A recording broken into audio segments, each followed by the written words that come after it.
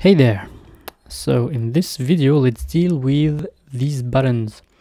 We need to disable this at start and enable it when we start recording. Then switch the list button to done button and when done disable this one and stop recording. So in the main activity let's set some listeners. First one on the list button. Set on click listener this one does nothing for the moment. It will be the subject of a separate video. Then the done button. So this one stops the recorder and everything else will be done, will be dealt with in the next video. And finally the delete button on click listener. So this one should stop the recorder then delete the file.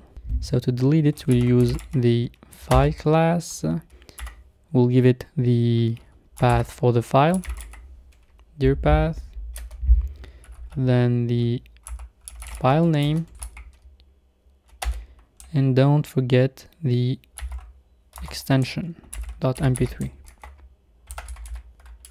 .mp3 actually now in the stop recorder we have some things to do here. First one is to stop the timer. That's done. The second thing is to stop the recorder. We will use our recorder variable and apply two things. First one stop function or method and the second one is release.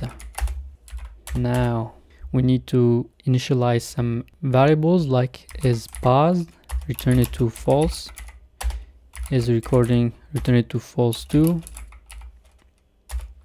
then the buttons start with a list uh, and set visibility to visible.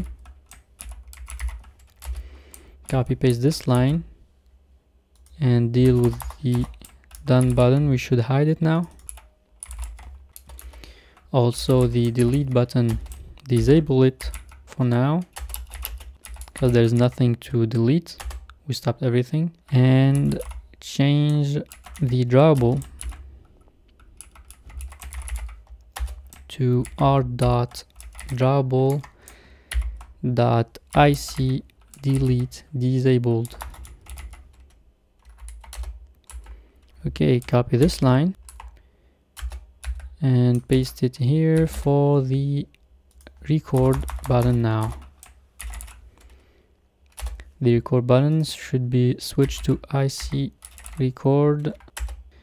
And of course we need to set the text view to the initial value. Tv timer dot text set it to double zero double zero dot double zero. One last thing is to clear the waveform.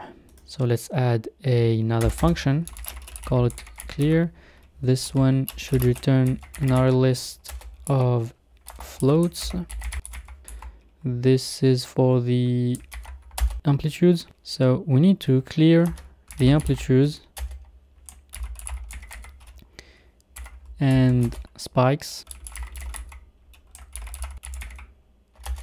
and then call the invalidate function to force redrawing and empty everything and then we need to return the current amplitudes but since we delete them we don't have them anymore so before we do that let's clone this array list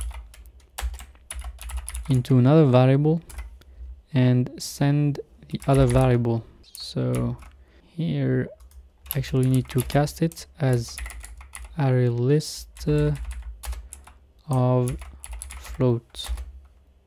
Okay.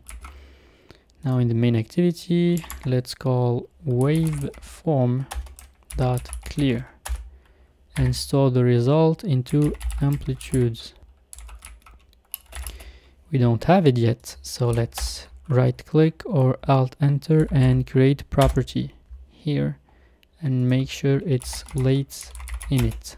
Now we're done with the stop recorder. Let's add a little thing to the start recorder here.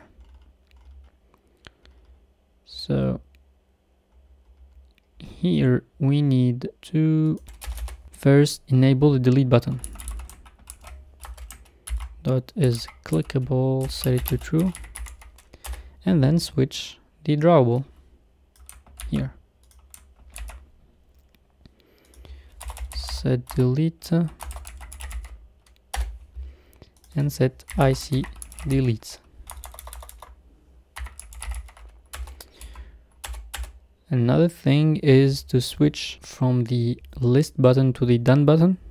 So button list uh, dot visibility set to view gone. Copy paste this line and change list to done and gone to visible. Okay. In the on create here at the end of onCreate button or onCreate function, call the delete button and set is clickable to false. So make sure you call this line after the onSet click listener, otherwise this function will automatically enable is clickable. So just for the fun of it, let's add some toasts, make text, uh, give it the context and here the message would be record saved. We have too many parentheses here. Gave it a length.